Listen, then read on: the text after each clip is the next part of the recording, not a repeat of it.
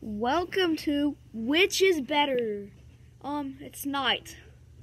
Which is better at night? Um, so we have this alphabet puppet. Nobody's even gonna use.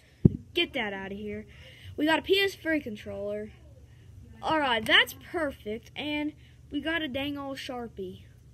Um, for this dang old Sharpie, I'm gonna say I'm just gonna rate it um about four out of ten. I mean, but it still does a good job on paper. Well, not really this blondish color.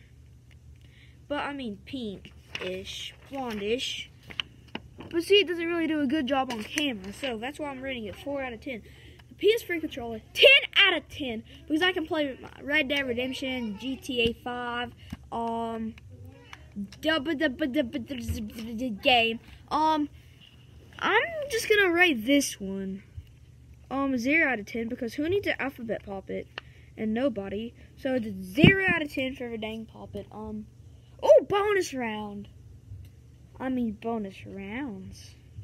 We have a Nintendo Switch game, Mario Maker. This is absolutely 10 out of 10. Um, and we have put on fingernails. This is absolutely a 10 out of 10 for me because I like to put these on, actually. So guys, look, look, look. I like to put it on my fingers. See? Bye.